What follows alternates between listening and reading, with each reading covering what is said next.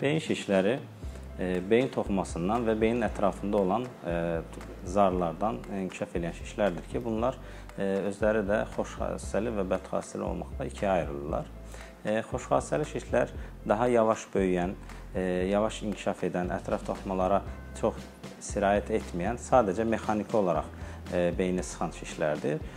Amma bədxassəli şişlər isə beyin toxumasından özəlliklə beynin öz hüceyrələrində inkişaf edən və beynin daxilinə nüfuz eləyən və sürətlə böyüyən və ətraf toxumalara daha çox zərər verən şişlərdir.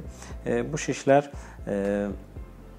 inkişaf etdikcə, yəni ətraf toxumalara sıxdıqca müəyyən simptomlara səbəb ola bilirlər. Bu simptomlardan da ən sıx gördüyümüz e, simptom baş ağrısıdır və bu baş ağrısının e, beyin şişlərinə məxsus, e, daha doğrusu beyin şişlərinə bağlı e, əmələ gələn baş ağrıların e, spesifik xüsusiyyətləri var. E, nədir bunlar? E, baş ağrıları özəlliklə e, təzə başlayan baş ağrısı olmalıdır. Yəni xroniki uzun müddət duran baş ağrılarından adətən qorxmuruq. Bizi daha çox narahat edən yeni əmələ gələn baş ağrısı və özəlliklə səhər tezdən durarkən e, ağrının daha çox olması və uzun müddət davam eləməsi və ağrı kəsicilərin aldıqdan sonra, yəni ağrı keçdikdən sonra, ağrı kəsicinin təsiri keçdikdən sonra təzədən əmələ gəlirsə, bu baş ağrısından biraz e, şübhələnmək, qorxmaq lazımdır. Yəni beyin şişlərinə bağlı olan bir baş ağrısı olduğunu düşündürə bilər.